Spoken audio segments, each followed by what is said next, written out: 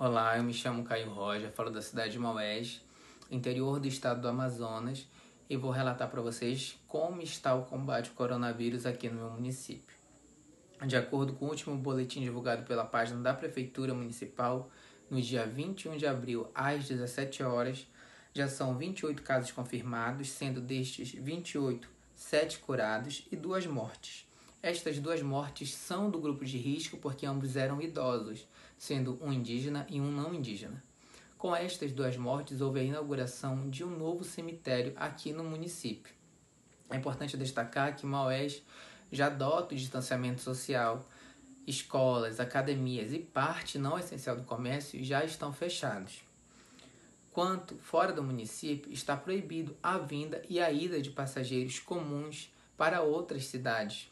Pessoas que estavam em tratamento de saúde na capital do estado podem retornar ao município, assim como pessoas que vão a tratamento de saúde para a capital do estado podem viajar. E estas pessoas devem ser autorizadas pela Vigilância Sanitária e pela Secretaria Municipal de Saúde. As pessoas que chegam aqui no município devem permanecer em suas residências por 15 dias para cumprir a quarentena. Também vale destacar que é, como Maués só tem um hospital, é, os casos que não forem de coronavírus né, devem ser atendidos numa unidade básica de saúde que agora funciona 24 horas. Então, essa medida foi adotada pela Secretaria Municipal de Saúde para que as pessoas que estivessem com outra doença não se dirigissem ao hospital e se contaminassem com coronavírus, porque agora o hospital fica dedicado ao combate ao coronavírus que sofrem de outra doença devem se dirigir à UBS Cecília, que fica no bairro Amália Júnior aqui da cidade. E pessoas que vêm do interior para que também não possam ser contaminadas, pessoas que residem na zona rural, irão ser atendidas pela UBS Fluvial, que agora fica no porto da cidade.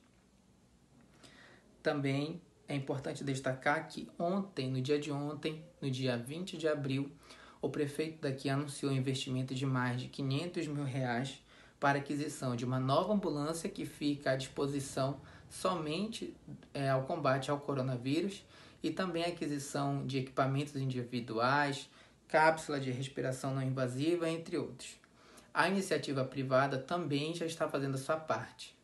Como só parte do comércio essencial funciona, os comerciantes e empresários só permitem que as pessoas estabelecimentos com máscaras, que também é, é uma orientação do poder público, que as pessoas que saiam de suas casas saiam somente de máscaras. O município também já adotou o toque de recolher, então com isso, Secretaria Municipal de Saúde, Vigilância Sanitária, a Polícia Militar e também o Departamento Municipal de Trânsito vão às ruas orientar as pessoas que fiquem em suas residências. Então, basicamente, é isso que está acontecendo aqui no município. No dia, até o dia de hoje, dia 21, constam 28 casos, sendo 7 curados. Alguns foram transferidos para a capital do estado, outros permanecem em suas residências em quarentena e isolamento.